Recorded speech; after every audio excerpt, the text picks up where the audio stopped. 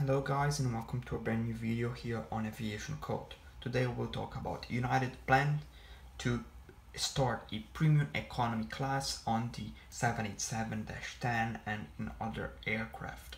Uh, United Airlines will offer its new premium economy product on their Boeing 787-10 when the aircraft is introduced later this year. Uh, United will configure their 787-10 with 318 seats, split between 48 business class seats, 21 premium economy, 45 extra legroom economy seats, and 208 uh, regular economy seats.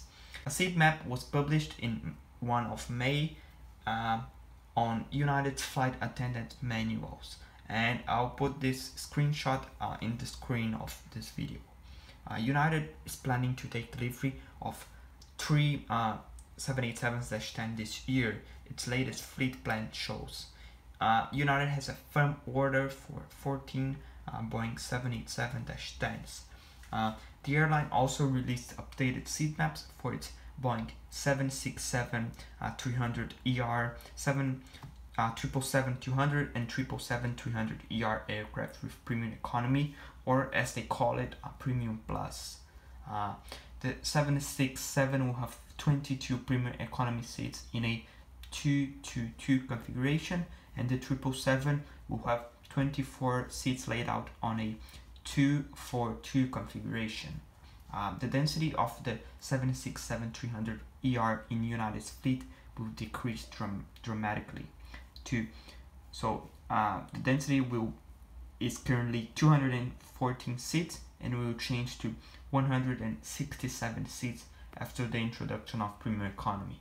And it also shows that um, business class will decrease from 44 seats to uh, 30 seats. In addition uh, the 777 will also see a decrease in density. Um, from 292 to 276 seats on total on the 777 at 200 and also on the 777 300 uh, the density will decrease to 350 from the current at 366 so it's a 16 seats uh, decrease.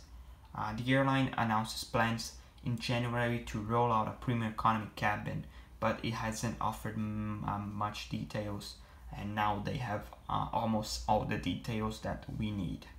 Also, another other uh, American airlines uh, such as Delta and American have been introducing premium economy class on routes to the USA, uh, making United one of the only airlines that doesn't offer uh, the premium economy class. United uh, currently operates 12 787-8s and 25 787-9s and as I said previously the airline will take a delivery of three uh, 787-10s this year. So let us know in the comments if you are excited to check uh, United's premium economy class. And thank you so much for watching this video. Please subscribe and we'll post a new video later today about Air France's chaos in Hong Kong. Please subscribe and thank you. Bye.